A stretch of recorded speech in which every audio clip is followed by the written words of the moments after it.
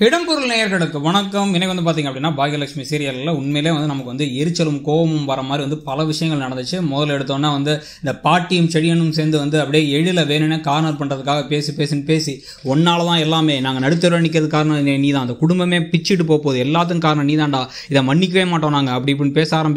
அப்படியே என்ன பண்ணுறதுன்னு தெரியாமல் எழில் புலம்பிட்டு இருக்காரு. இப்போ தான் எழிலுக்கு தெரிய வருது. பா தாத்தாவுடைய ஏற்பாடையும் வந்து அப்பா கெடுத்து விட்டாரு அப்படின்ட்டு கோபி கெடுத்தாருன்ட்டு ஸோ வெளில நின்று அவர் பேசிக்கிட்டே இருக்கும் பொழுது அப்போ என்ன ஆகுது அப்படின்னா வந்து உள்ளார அப்படியே ஈஸ்வரி அழுகலாம் செய்கிறாங்க எதுக்கு இவங்க அழறாங்கன்னே புரியல. தாத்தா ஏற்பாடு பண்ணிட்டு வர பணத்தை நினச்சேன் இப்படி இல்லை. கடங்கார மாதிரி வந்து கோபி நிற்பான் அவன் தான் இப்படி ஆயிட்டானா அந்த எழில் பையன் வேற ஒன்றுமே பண்ண மாட்டான் அப்படின்னு பேசி உன் சந்தோஷம் மட்டும் தான் முக்கியம். சுயநலவாதி உன்னை பார்த்தாலே எனக்கு கோவம் வருது எரிச்சல் வருது அப்படின்னு கத்த செடியன் என்னால் முடியும்னு பண்ணிட்டு தாங்கிறாரு அவர் கையில் காசே இருக்குது கொடுத்து பண்ணிடலாம். அந்த வீட்டை வாங்க வேண்டியதானே வீட்டை அவர் பேர் எழுதிக்க வேண்டியதானே அதெல்லாம் அவர் பண்ண மாட்டார். ஸோ வந்து நான் பாட்டியை கூட்டு போயிடுவேன். அம்மாவை எங்கே கொண்டு போய் நிறுத்துவேன் அப்படிங்கிறாரு. ஏன் வாடகை வீட்டுக்கு போய்க்கலாம் ஆஃபீஸ் இருக்குது அப்படின்னா வந்து அதெல்லாம் இல்லை அப்படின்ட்டு வெண்ணே அவர் கார்னர் பண்ணுறாங்க அதுக்காக மட்டும் ஒரு அழுகையை போட்டு ட்ராமாவெல்லாம் போட இவருக்கு என்ன பண்ணுறனே தெரில தாத்தாவும் வந்தார் தாத்தாவும் பாக்கியாவும் வந்ததுக்கு பிறகு அவங்களையும் வேற திருப்பி திருப்பி திருப்பி நோண்டிகிட்டே இருக்காங்க.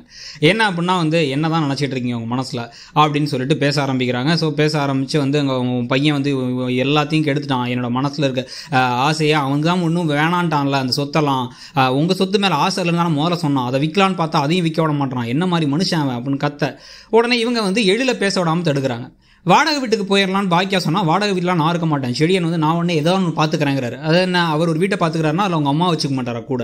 அப்படி செடியன் பேசுகிறாரு பாட்டியை வேணால் கூப்பிட்டு போகிறேன் அப்படின்ட்டு. பாட்டி வந்து நான் உன் கூடயும் வரமாட்டேன். நான் வந்து கோபி கூடயும் போக மாட்டேன். நான் ஊருக்கே போயிடுவேன். ஒரு ட்ராமாவை போடுறாங்க. எல்லாரும் மாற்றி மாற்றி பேச. ஜெனி உடனே நானும் வந்து ஆன்ட்டி கூட தான் இருப்பேன்னு பேச. இதெல்லாம் நடந்துக்கிட்டு இருக்கு.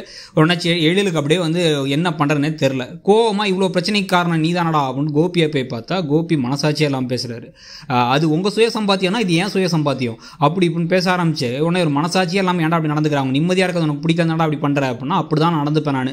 நான் போய் நிற்பேன் பணத்தை ஏற்பாடு பண்ணனா ஒன்றும் பண்ண முடியாது. அப்படின்னா எழில் பாவண்டா ட்ரை பண்ணா முடியலடான்னு ஒரு அழவே ஆரம்பிச்சிடறாரு. அதுக்கு நான் ஒன்றும் பண்ண முடியாது. வெளில துரத்திட்டு போயிட்டே இருப்பேன்னு மனசாட்சி இல்லாமல் அவர் போறாரு. அதோட இன்னைக்கு எபிசோடு முடியுது. ஸோ இன்னைக்கு எபிசோடை பற்றி நீங்கள் என்ன நினச்சிங்கிறத சொல்லுங்கள் இடம்பொருள்